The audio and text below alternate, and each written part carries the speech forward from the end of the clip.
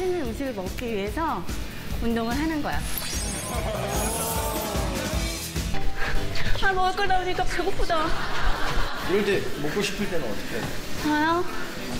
먹긴 먹어요. 아, 먹긴 먹고 운동해야 돼. 네. 그만큼 다 칼로리를 태워야 돼. 원래 사람이 자기에 맞는 옷이 있듯이 자기에 맞는 위가 있거든요. 네. 정말, 예, 예. 왜 혜영 씨 같은 경우는 위가 작기 때문에 운동이라도 해야 좀 먹을 수 있는 거거든. 뭐야?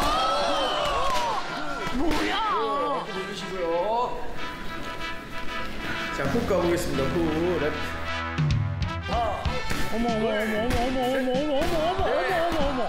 오, 근데 팔 근육 좀 봐. 심상치 않아.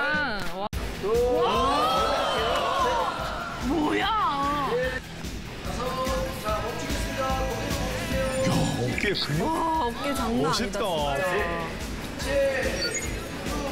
진짜.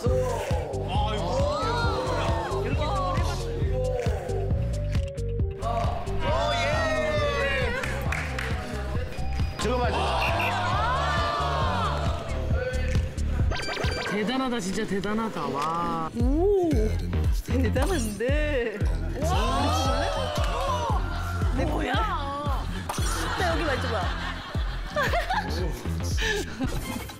아, 맛있는 냄새.